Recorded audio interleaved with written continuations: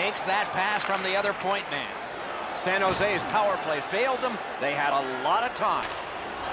That one counts. He put it in himself.